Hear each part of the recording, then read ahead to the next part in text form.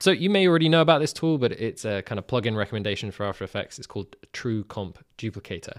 Uh, if you have ever had issues where you duplicate a composition that's got sub compositions and sub sub compositions, uh, you know this issue, which is that basically the, the the top level comp that you duplicate does not it's got all these nested dependencies inside of it and so that that can cause issues you think that you're you've got this clean new fresh thing that you can mess around with and you mess around with it loads and then you go back to the original comp that you duplicated and you've messed loads of stuff up true comp dupl- duplicator solves this by sort of automating the comp duplication process so I'll just put it really simply here uh, so that you can see it in action. So here's the script on aescripts.com.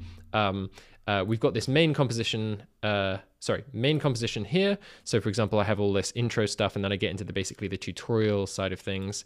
And the, the tutorial side of things is where I edit stuff. So there's loads of like screencasts in here that are like time remapped to fit to the voiceover.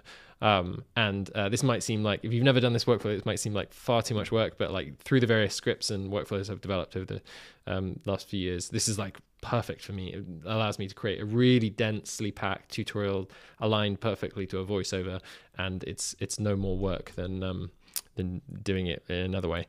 So um, anyway, point being, we've got this top level comp, and then like. Uh, a, a, sort of a tutorial layer inside of it uh, and I want to duplicate this and start work on part two, right? So all I need to do is go to the top level one and with True, TrueComp Duplicator open, I can uh, duplicate it. So uh, I've got a couple of things set here, select duplicates, update expressions, and increment the last number in names. If I hit duplicate selected, True Comp Duplicator, this is like a tongue twister, uh, goes through and it says, oh, great, you, here's your top level comp here. I'll rename it to part two, uh, part two SC, and then we've got it. And if we go in here and we deleted like everything, if we go into part one, nothing is touched. And that would be the same also for the, uh, for the subcomp as well.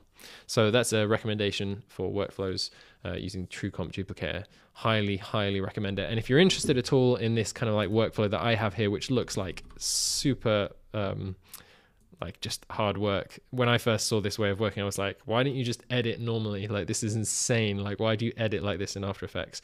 Uh, it seemed like too much, but the workflows that I've got now uh, massively speed this up. Editing wise, I've developed a bunch of scripts for this.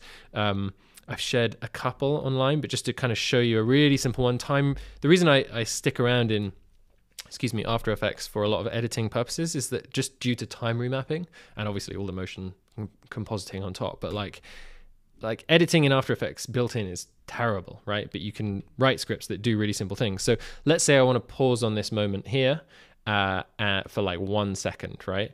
Uh, what I'd need to do is I'd need to Split the layer, enable time remapping on the first layer, put a hold keyframe on the first layer, move the layer forward, and extend the previous layer forward, if that makes sense. I won't go through it because it'll bore you, but for example, I've got this uh, JVN split um, script, which basically does that, right? And you can now be like, okay, that's my time, my time um, sort of pause there, and I can just like hold on that for as long as I want. So if you're interested in that, let me know and I can share more. But uh, as always, you can find uh, that script that I just mentioned uh, at uh, slash tools and um, TrueComp Duplicator at aescripts.com. Highly recommend. Cheers.